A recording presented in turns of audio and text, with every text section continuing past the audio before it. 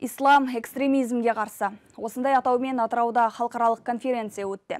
Оған Өзбекстан, Түркия, Сирия, Қырғызстан және Дағыстаннан келген ресми өкілдер қатысты. Толығырақ тілші тарқатады. Атырауда өткен конференцияның басты мақсаты еліміздің тұрақтылығы мен жастардың отан сүйгіштігін қалыптастырудағы дәстүрлі ислам құндылықтарының орны мен рөлін көрсету. Шетелдік дін өкілдері қатысқан жиында халық арасындағы діни экстремизм мен радикализм идеяларының алдын алу бойынша пікірлер ортаға салынды. Конференцияға еліміздің бас мүфтиі Наурызбай Қажы Тағанұлы арнайы келіп қатысты. деструктивті ағымдар тек ислам дінін жамылып өз ниеттерін жүзеге асырмайды жат ағымның протестанттық және шығыстық түрлері де бар ең қызығы жат ағымдардың қаражат табу билікке бару өз идеологиясын тарату сынды көздеген мақсаты болады сондықтан экстремизмнің алдын алу үшін ұлттық салт дәстүрді дұрыс шариғатты дәріптеу қажет деп есептеймін дәстүр дегеніміз елімізде қалыптасқан діни тәжірибелер тізбегі және біздің өмір сүру салтымыз бүгінде қазақтың дәстүрін жоққа шығарып ел ішіне ылаң салып жүргендер жоқ емес.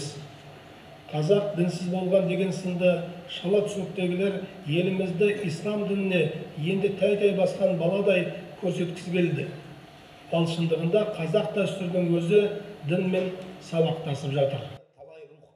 Жиында облыс әкімі аппаратының басшысы Нұрлыбек Жеңісбекұлы халық жат ағымның жетегіне ермеу үшін дәстүрлі дініміз туралы уағыздарды тек білімді дін мамандары айту қажеттігін атап өтті.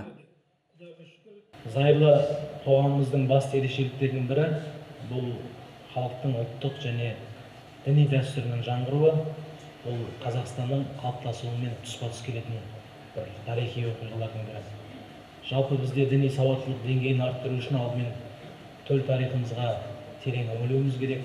Сол тарихымызда жатқан үлкен ә, жолдың сара жолдың даңғыл жолдың бағытына түсетін болсақ біз діннен де дәстүрден де адаспаймыз.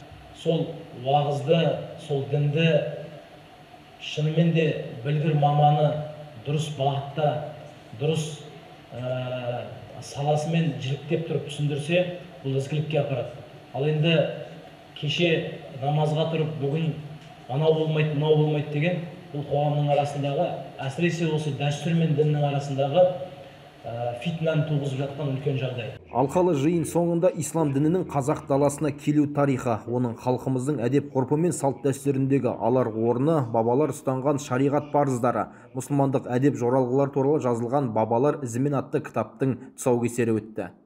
Нұрислам ғұмар айбек қуандықұлы тдк қырық екі атыраудан.